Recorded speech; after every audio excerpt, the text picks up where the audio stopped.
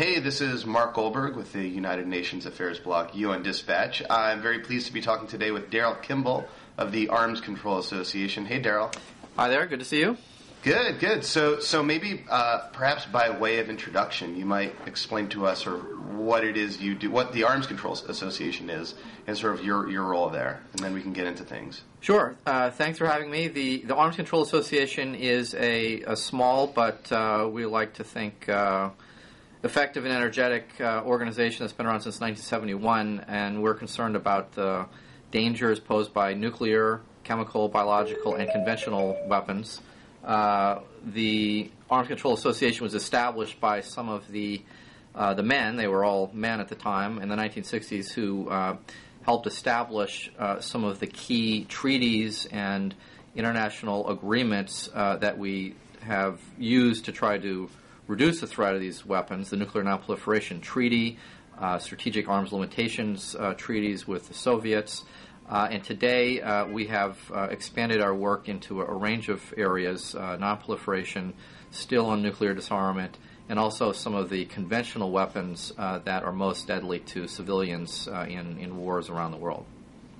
Great, and, and you guys also put out Arms Control today, right? Right, we put out a, yeah. a 50 plus page magazine uh, 10 times a year. Uh, it is uh, chock full of uh, news reports from our analysts. Uh, we have a, a, staff who reports on key developments, and we also have articles from leading experts, uh, some opinion leaders, interviews with key people. We've interviewed John Bolton, Mohammed ElBaradei and others, and that's available online on our website too, uh, armscontrol.org. I, I, definitely encourage readers to check out uh, Arms Control today. It's really it's a very useful um, useful uh, resource for, for these kind of issues. And uh, so, so today we're going to talk about uh, non-proliferation, the, the future of the non-proliferation regime, but also maybe uh, current threats and challenges to it. And I think maybe a, a good way to, to jump into this is is uh, talking about something that's been in the news recently, that's uh, certainly in your orbit, which is this uh, civilian, uh, this this American Indian civilian nuclear transfer deal, right. Right. Um, and and which uh, uh, you have called, and I'm quoting here, a non-proliferation disaster of historic proportions that will produce harm for decades to come. So so maybe uh, I'll, I'll ask you maybe to explain, give us some background on what this deal is and and why it is that you think it is such a disaster.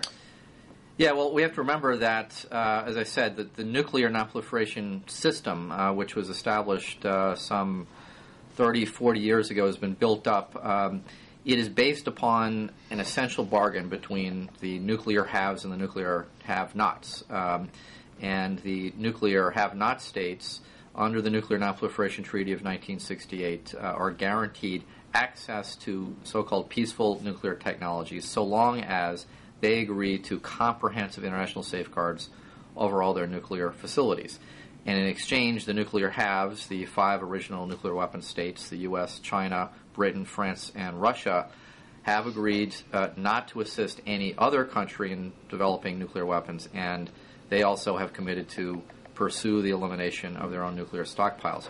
So the problem with this proposal that George Bush uh, announced in July 2005 with India is that it would grant India the benefits of being a member in good standing of the Nuclear Nonproliferation System and the Nuclear Nonproliferation Treaty, even though India has not subscribed to all of those standards and principles. India uh, acquired the nuclear bomb, uh, conducted its first nuclear test in 1974 using technology that was transferred to it by the United States and Canada under peaceful auspices.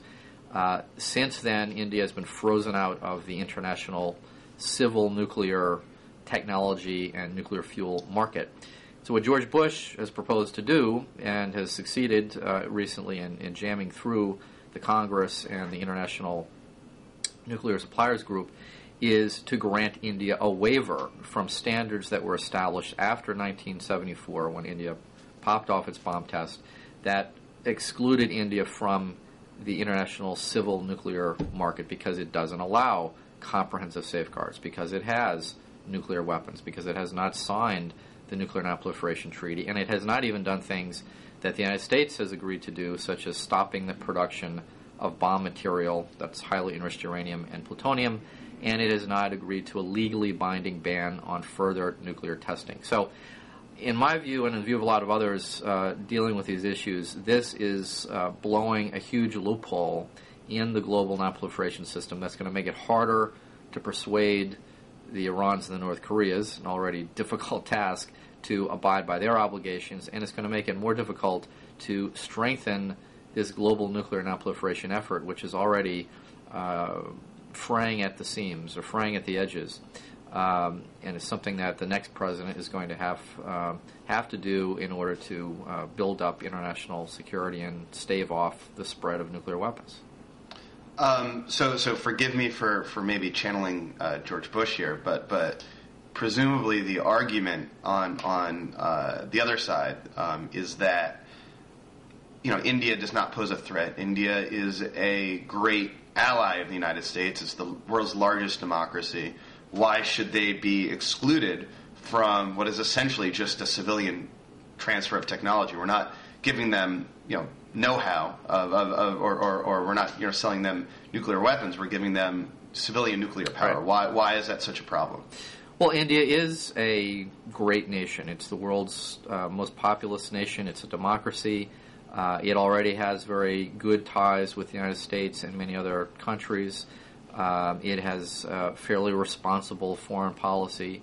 Uh, the problem, however, is that uh, nuclear weapons uh, are dangerous in the hands of good guys or in the hands of bad guys. Uh, India has not, in its past, abided by the rules.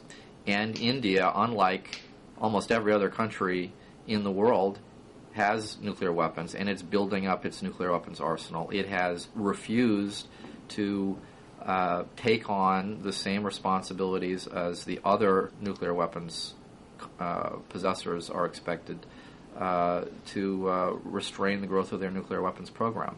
So, I mean, this is setting a, a dangerous precedent, as I said before, that's going to make it more difficult to persuade those countries that are in the system to continue to abide by the rules. Uh, it's going to make it more difficult to strengthen the rules to prevent the most sensitive and dangerous technologies, especially those that relate to making nuclear bomb material, from being spread to other countries. The other thing that I think is uh, not very well known, and that the Bush administration uh, really ignores and, and, and slides over, is the fact that if the United States and other nuclear weapon suppliers provide nuclear fuel to India, what that's going to do is indirectly assist its own nuclear bomb program.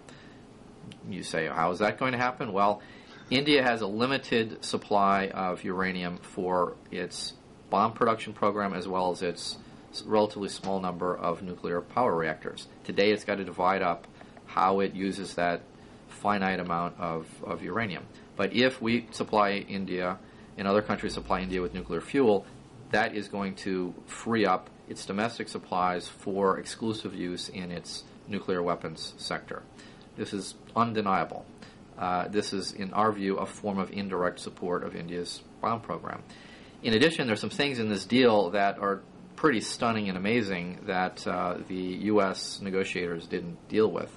Um, forgive me for getting a little techie here, but India. Uh, go for it. We, we, we, like we like. You like good. So, okay. So, yeah, so good. Well, Go India has India has a, a, a nuclear uh, reactor design. Um, is, is primarily used a reactor design called a uh, heavy water reactor, and it uses um, heavy water as the moderating element for the, the reactor.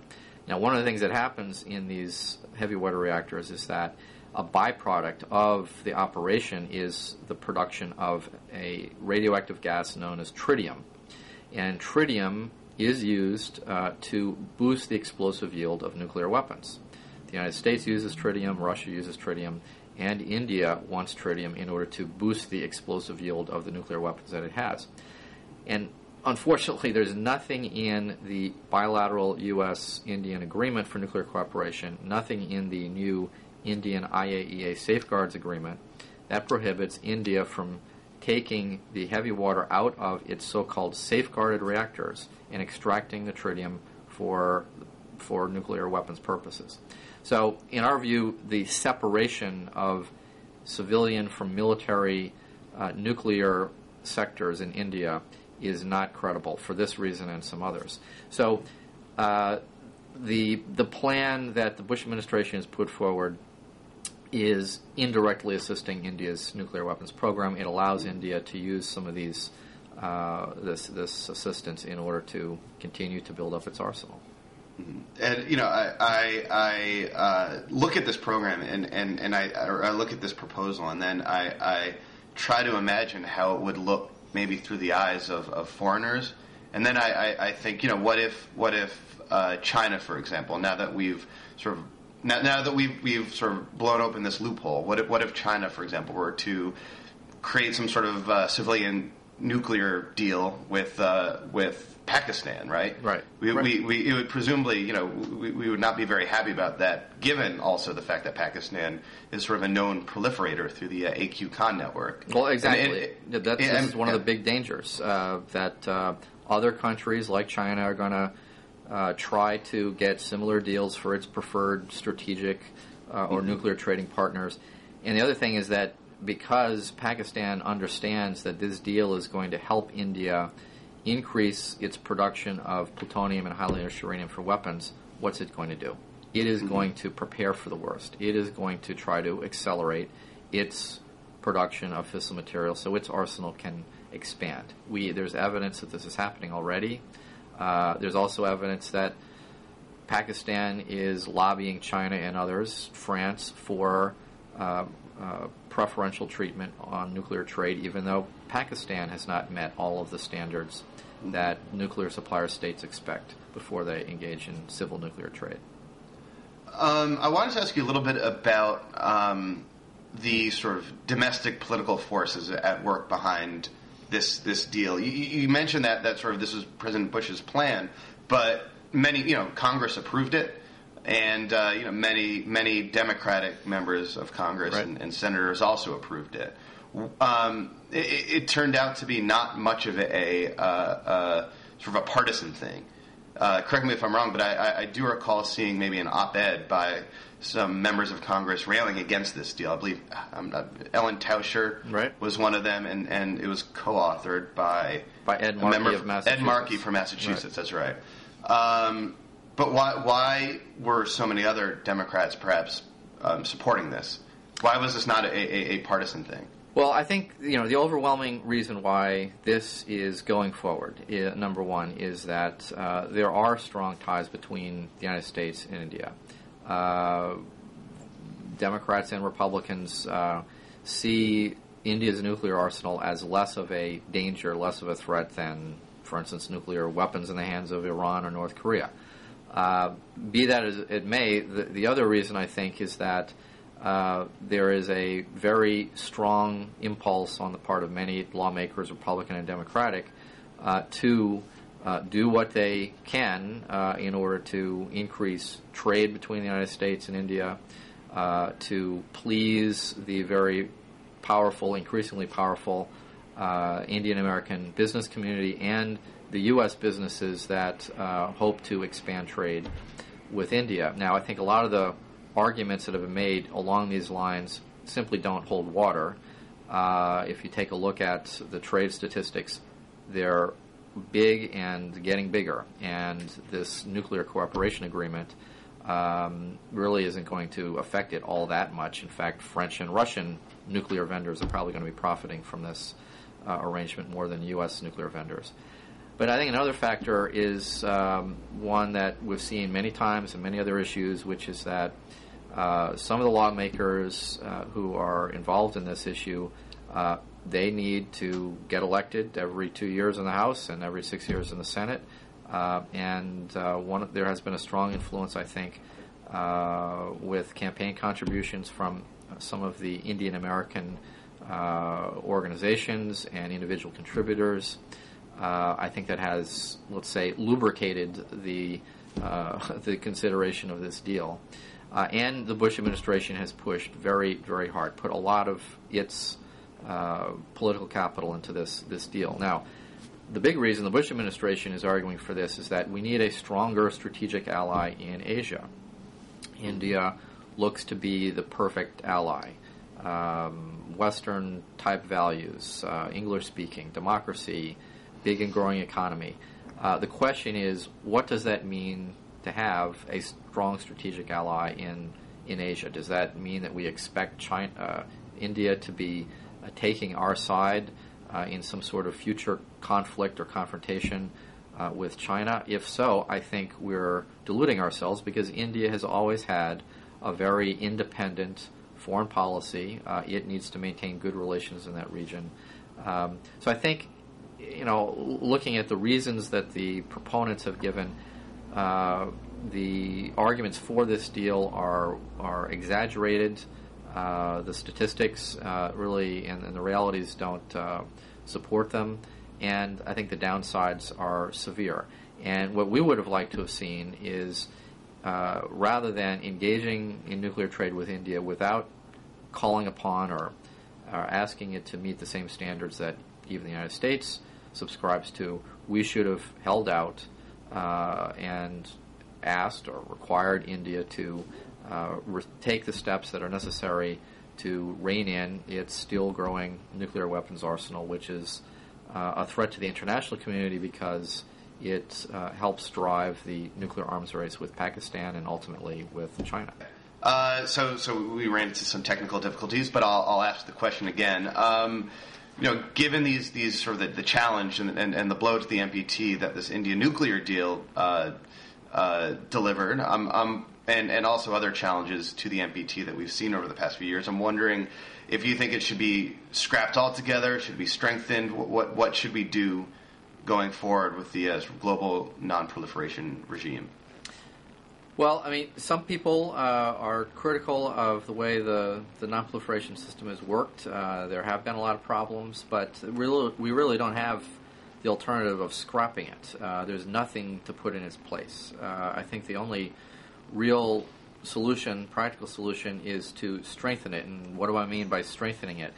As I said before, the, the non-proliferation system – uh, is basically a bargain between the nuclear haves and the nuclear have nots. Those that don't have nuclear weapons are expecting the nuclear weapon states, uh, especially the United States, to move more aggressively and faster towards the elimination of our still bloated nuclear weapons stockpile. They're looking for the United States to reduce the role of nuclear weapons in our foreign and military strategies. And the role today is still, uh, believe it or not, very much the same as it was uh, during the Cold War years.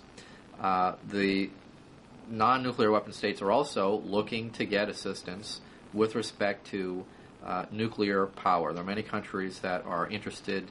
Uh, despite the, the problems associated with nuclear power, the nuclear waste problems, the costs, they're looking for the option to uh, develop nuclear power industries. So, on the other hand, the nuclear weapon states uh, need to do more to fulfill their end of the bargain, but we also need to see the non nuclear weapon states uh, meeting their obligations. We need to see more countries uh, meeting their obligations to uh, comply with safeguards and to agree to a new type of safeguards uh, protocol that was established in the 1990s after the, uh, the first Gulf War when uh, shortly after which we found out that Iraq was pursuing nuclear a nuclear weapons program. Uh, that's called the additional protocol. Still, a number of countries have not signed on to the additional protocol, which gives the International Atomic Energy Agency greater authority to inspect beyond the uh, officially listed sets of nuclear facilities in those countries. Mm-hmm. The other thing that we need, and all countries need, is we need to find ways to persuade new countries uh, not to build domestic uh, indigenous plants to enrich uranium or to reprocess spent fuel, which can allow someone to extract plutonium, which can be used for nuclear weapons. This is the problem with Iran. Iran says it's pursuing a nuclear uh, energy program, and it needs, it says, uranium enrichment in order to produce the fuel for those reactors. Well, that enrichment program also allows it to uh, potentially build highly enriched uranium, manufacture highly enriched uranium that could be used for weapons. So we need to find ways to mm-hmm. strengthen the system in these and other ways. And then the other thing I think we need to mark is we need to find some some longer lasting solutions to some of the regional security problems that drive proliferation. the tensions in the Korean Peninsula have existed for over five decades. Uh, until we address North Korea's paranoia and its fears, it is going to continue to want to hang on to its nuclear weapons capability. Until we find some reasonable solutions to some of the tensions in the Middle East, uh, Israel, of course, is going to maintain its nuclear weapons arsenal. Iran is going to want to keep the at least the option to build nuclear weapons. So, uh, part of the solution of nonproliferation goes well beyond the treaties and the export controls on the sensitive technologies, but it goes to solving the regional problems that drive countries to think about and sometimes pursue nuclear weapons. Um, I, I, I, guess sort of this, this sparks sort of maybe two thoughts or two questions in my mind. One, going going back to this idea of, of additional measures and, and, additional treaties or, or, or ways to convince uh, potential civilian nuclear states not to enrich their own uranium. Right. Uh, there's there's this uh, proposal out there, and, and uh, by the uh, Nuclear Threat Initiative, I believe, which I should offer as a disclosure, is um, a sister organization to the United Nations Foundation, which sponsors my blog UN Dispatch. And I've read on their on their site that that, that they are proposing this this nuclear fuel bank right. idea, right. whereby um, sort of it's some international agency, presumably the IAEA, just has a stockpile of, of enriched uranium that can be used uh, as something of an insurance uh, against countries not being able to import their uh, enriched uranium if they can't process it domestically or if they don't want to process it domestically, right. which is sort of the goal, I guess, of, of nonproliferation. What do you? I guess maybe you could probably explain that idea better than I, and, and I'm wondering what you think of it. Well, I mean, the, the problem uh, is is that uh, today we have about 12, maybe 13 countries with the capacity to enrich uranium or separate plutonium from spent fuel. Uh, each one of those countries either is a nuclear weapons possessor or is a virtual nuclear weapons country in the sense that these countries have the technical and the industrial capacity to produce the key material for nuclear weapons, the fissile material, highly enriched uranium or plutonium. So the challenge is how do we persuade additional states against uh, acquiring that capacity? And let me just explain what the, the challenge is because, as I said, we've got a global energy crisis of sorts. Uh, countries are hungry for new forms of nuclear energy, other other forms of energy, and so there are several countries that want to either get into the market of selling nuclear fuel or even getting into the market of selling uh, the services uh, related to uh, producing uh, nuclear fuel for reactors. And so that is creating uh, pressure in countries like South Africa, Argentina, uh, Canada to build domestic uranium enrichment uh, capacity. Um, those countries are not really the problem countries, let's say. These countries are not uh, high risk for pursuing nuclear weapons. But there are other countries that could be high risk if they want to get into this business or if they want to have uh, their own capacity to produce nuclear fuel for power reactors. Many of these countries are in the Middle East, uh, like Saudi Arabia, uh, for instance. So, this scheme of having a nuclear fuel bank, uh, which is really an old idea, has uh, is getting re- revived. Uh, the proposal is to guarantee all of these countries that might want to get into the nuclear uh, fuel market or want get into the nuclear energy business, uh, that they will have a assured supply of nuclear fuel. And the idea is that this will help persuade them that it is not economically viable or necessary to have their own domestic enrichment capacity. The problem with this idea, as I see it, is that it is only going to persuade those countries that don't have a strong economic interest uh, to get into the enrichment business uh, to do so. It's not going to solve the problem with countries that might want to uh, build up a nuclear weapons capacity, like Iran, or even a Saudi Arabia that wants to have an enrichment capacity because Iran has an enrichment capacity and possibly a nuclear weapons program. So this is, I think, a partial solution to a big problem. The other part of the solution, I think, has to be uh, better, stronger, tighter controls on the spread of enrichment and reprocessing technologies so that additional countries don't acquire these capabilities. Uh, some people uh, believe that's discriminatory, especially in the developing world. Um, I say that's tough because these technologies are not necessary for a country to develop uh, a nuclear energy production industry, especially if you have these nuclear fuel banks, uh, fuel bank idea available. Uh, and it is very clear that every case of uh, nuclear proliferation, every new entrance to the uh, nuclear weapons club has entered that club uh, as a result of getting enrichment or processing technology under peaceful auspices, and then they've turned around and used it for a weapons program. That's what India did. That's what Pakistan did. That's what North Korea did. Hmm.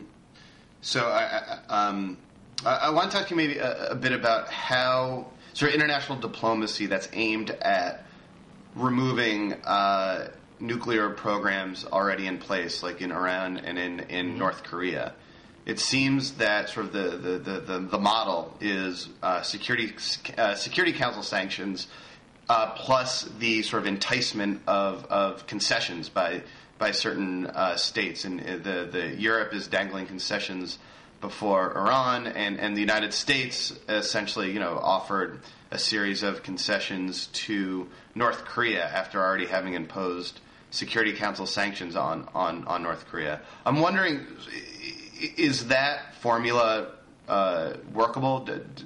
Does it work? What, what, do you think needs to be done, uh, sort of dipl- diplomatically, to to reduce the, uh, the, the nuclear threat from these two countries and, and others going forward?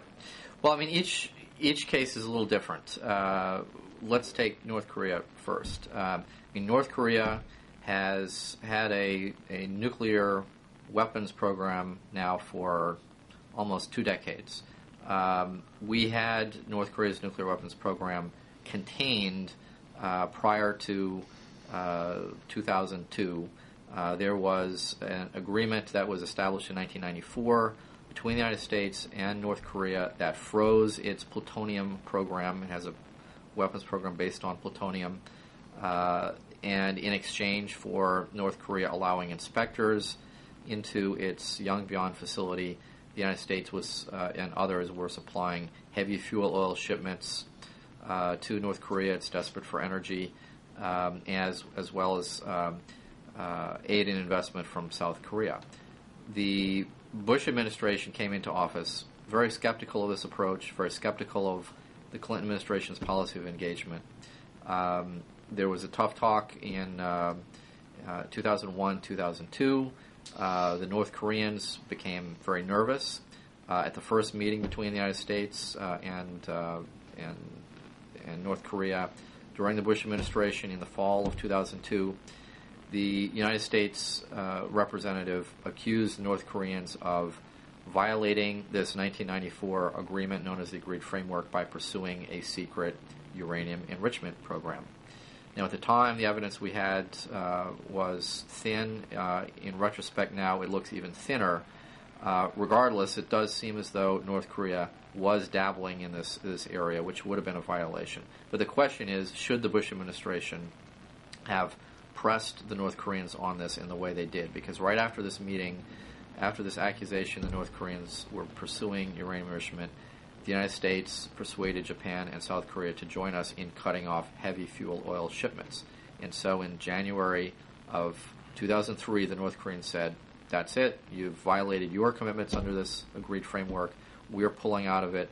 We're going to kick out the inspectors. We're going to resume the production of plutonium for weapons.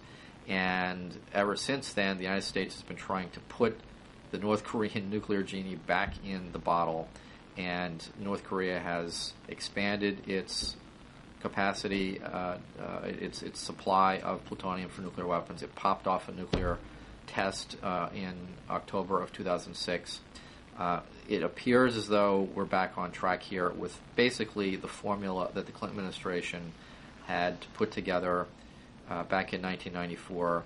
uh, but with North Korea committing, at least uh, verbally, to eliminating its entire program. We're stuck on some of the key issues that um, uh, were worked out in this, this new framework, which is known as a six party process. Um, the North Koreans at this moment are saying that the United States has reneged on its commitments, to uh, one of which is to take North Korea off our state sponsor of terrorism list.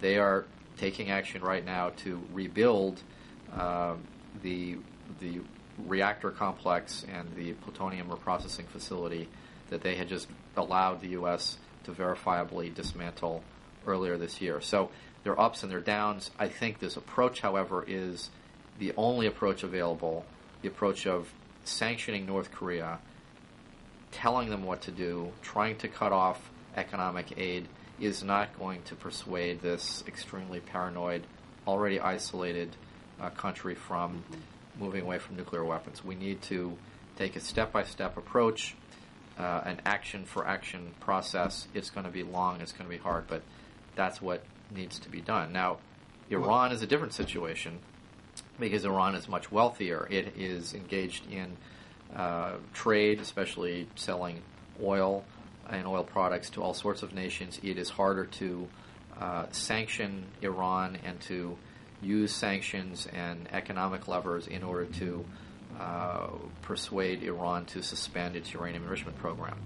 Uh, so but I think the, the, key difference is that the Bush administration, despite some of its rhetoric, has not engaged with Iran in the same way that it engaged with North Korea. Uh, we have outsourced our diplomacy vis-a-vis Iran to the European Union.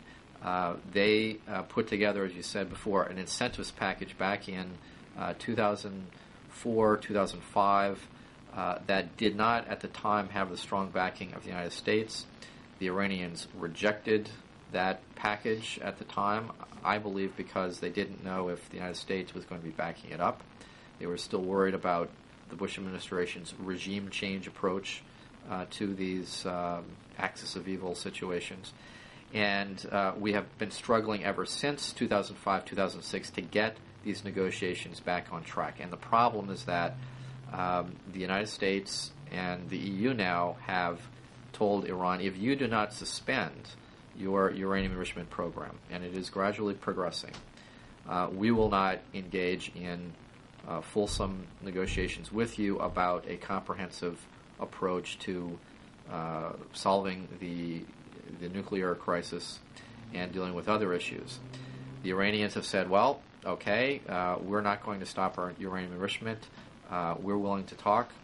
Uh, and in this situation, the Iranians win because they continue to add centrifuge after centrifuge to their uh, Natanz facility.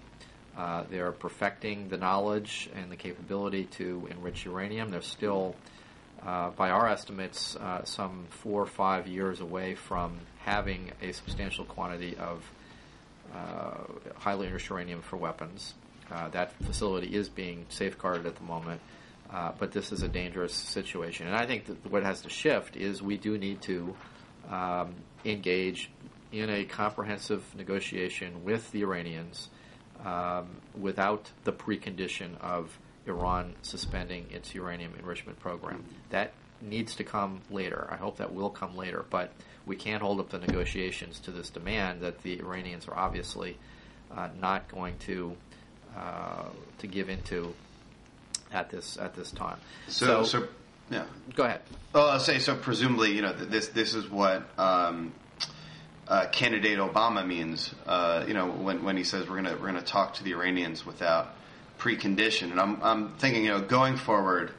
Uh, how how can the next president? What steps can the next president do to shore up uh, what what seems to be a, a, a flailing non-proliferation regime? Either either candidate or both candidates. Well, I mean, I, I think one of the first problems they have to deal with are just the two that we've been talking about. They've got to make sure that the North Korean and the Iranian nuclear programs uh, don't become bigger threats than they are today. The North Korean situation is salvageable. Uh, it's going to be very difficult, and I would, in fact, urge McCain or Obama to pick up where the Bush administration has left off. Uh, this is a, a decent, it's an imperfect, but it's a decent framework, the six party process, uh, to, continue pursuing. Um, a lot can be accomplished with some changes in uh, style and rhetoric. Uh, the Bush administration's uh, axis of evil approach uh, did not sit well with the North Koreans. It's the kind of rhetoric that does not make diplomacy work so well in that, that region. With Iran, you know, I think the Obama approach is the right approach. We need to change uh, tack here because the Bush administration's policy of imposing limited sanctions on uh, entities in Iran, while I think smart, is not effective enough. It is not going to uh, uh adjust Iran's behavior in time to prevent them from having a substantial enrichment capacity. Uh, so uh, what is the diplomatic solution? What does the package look like? There are, you know, six ways to Sunday uh, in terms of the ideas that are out there for how to do that. But the first step is to engage in a broad-based negotiation with them. Um, this is a regime that's not led by Ahmadinejad. Uh, it is um, led by a, a, variety of different people, and part of the problem we have today is, you know, identifying who it is uh, that is in, who's in charge, where the power centers are, and that negotiating process, I think, alone will help us figure out who those people are and what kinds of levers uh, we need to be using uh, to get the right outcome.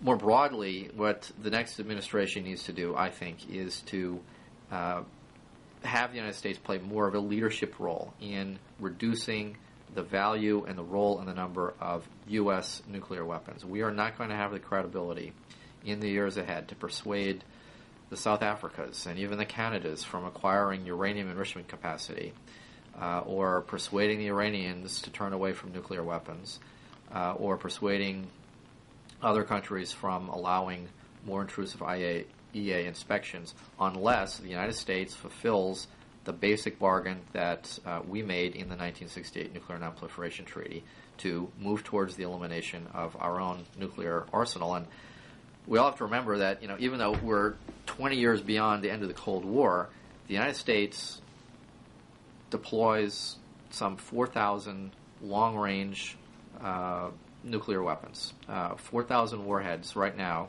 could be fired against Russia or some other enemy. Russia has a comparable number. Why in the world do we have that many nuclear weapons? I cannot see, nor can many other people see, a uh, legitimate practical purpose for having such a large nuclear weapons arsenal. And the faster we can move to eliminate those bloated arsenals, I think the more credibility we're going to acquire in the international arena to win support for stronger and tighter controls on the most sensitive nuclear technologies to crack down on the black market networks of uh, suppliers that uh, can help fuel the illicit programs of uh, you know the next uh, Iran out there. Uh, that is one of the most important things that we can do is to lead by example. One of the other things that we need to get back to, I'll, I'll mention too, is uh, we need to ratify the Comprehensive Nuclear Test Ban Treaty, which is also an old idea, but still a very valuable and important one. Nuclear For the record, te- that was on the list of things I was going to ask you about. So, sure. so, so, so, you know, go on. I'm, I'm, I'm curious to hear your thoughts on on uh, how that can happen and why that's important. Well, we heard about the, the test ban treaty again when uh, Joe Biden uh, accused uh, John McCain of voting against the Comprehensive Nuclear Test Ban Treaty back in 1999. This is a question that came up in the vice presidential mm-hmm. debate, and John McCain did vote against the Comprehensive Nuclear Test Ban Treaty along with uh, 51 of his uh, fellow senators, mainly Republicans. Uh, back in 1999, the Clinton administration put together a very poor effort to win uh, the Senate's advice and consent. You need to have 67 votes to uh, win support for ratifying a treaty. The Comprehensive Test Ban Treaty is important because banning the bang prevents existing nuclear countries from perfecting new types of nuclear warheads. Uh, it also uh, prevents uh, would be nuclear weapon states from perfecting the most uh, sophisticated types of nuclear warheads, smaller nuclear warheads that can be delivered on ballistic missiles. So, banning nuclear testing is an important way to limit the uh, advance of nuclear weapons programs by a variety of countries. Uh, the McCain campaign has said that uh, as, as President McCain would reconsider the Comprehensive Test Ban Treaty. That's a good thing. I'm skeptical that he would be enthusiastic about pursuing ratification, but he said that he would reconsider. The Obama campaign has said that uh, a President Obama would pursue as soon as practicable the ratification of the CTBT. The Comprehensive Test Ban Treaty is seen by the world's other countries as the most important symbol of the United States' commitment to fulfilling its own nuclear disarmament obligations. Mm-hmm. And that single action would have a great deal of value in trying to persuade others to, to strengthen other parts of the nonproliferation system. Uh, it's today a, a, verifiable treaty. We can figure out whether a country is trying to conduct a nuclear test explosion. Uh, we can detect at very low yields. And many opponents say, well, can we maintain our own nuclear weapons arsenals in the absence of nuclear testing? Well, we've done it since 1992, which was the last time the United States conducted a nuclear test blast. Uh, we have the world's most sophisticated, deadly arsenal. We've been maintaining it with a very expensive uh, stockpile stewardship program uh, that can continue working as it has for still decades to come. So this is a, a, treaty that's valuable, it's verifiable, and the United States can afford to maintain its uh, nuclear arsenal even without uh, nuclear testing. And there's one other thing that we need to do that I think is very important on nonproliferation and disarmament, and that is to get back on track with Russia on controlling U.S. and Russian strategic nuclear weapons. As I said, we've got each of us about 4,000 deployed strategic nuclear warheads. Uh, there is an important agreement that is about to expire in December of 2009, the Strategic Arms Reduction Treaty.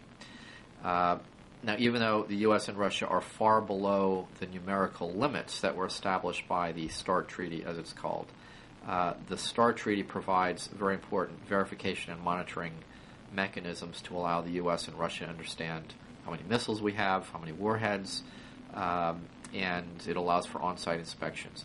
Given how badly U.S. Russian relations are going across a variety of areas, it would be a huge mistake to allow this treaty to expire. And yet, the Bush administration and the Putin Medvedev administration have not figured out a way to extend this treaty or to negotiate a new treaty that would, would replace it. And so this has got to be one of the top priorities for a McCain or an Obama administration to make sure that the U.S. Russian strategic nuclear relationship uh, does not become even more unsteady in the absence of any agreement that allows us to understand uh, how many nuclear warheads and missiles the other side has. Well, that was, I think, a very comprehensive answer. Uh, Daryl Kimball, thank you so much for, for chatting with me today. Um, My pleasure. And uh, you know, we'll put all these links up to uh, up on uh, the, the the sidebar of uh, of this program. And uh, thanks thanks so much. This was great. All right, I'll be happy to do this anytime in the future. Yeah, yeah, no, us. and and you know, as as I think these issues come up in the news, I'll definitely want to you know come back to you and, and, and talk about them. But this was really this was really interesting. Thank you.